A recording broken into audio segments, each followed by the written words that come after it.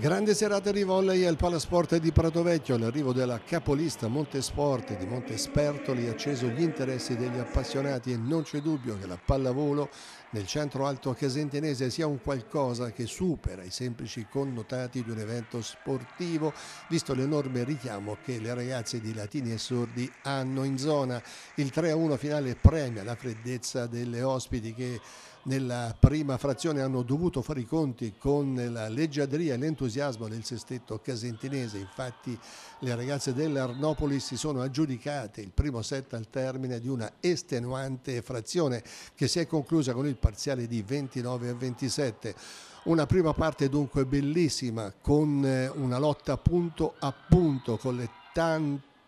con tanto di muri in contromano. La regia di Dalmaso, Carrisi e del Libero Ronconi è stata continua alla pari delle bordate in via centrale di Matrullo e Milli con l'Antonelli che ha elettrizzato il pubblico con le sue schiacciate. Poi gradualmente i valori sono venuti a galla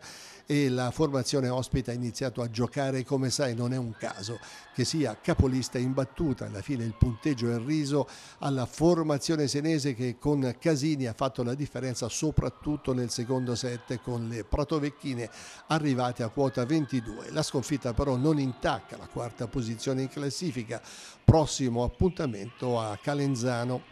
sabato 21.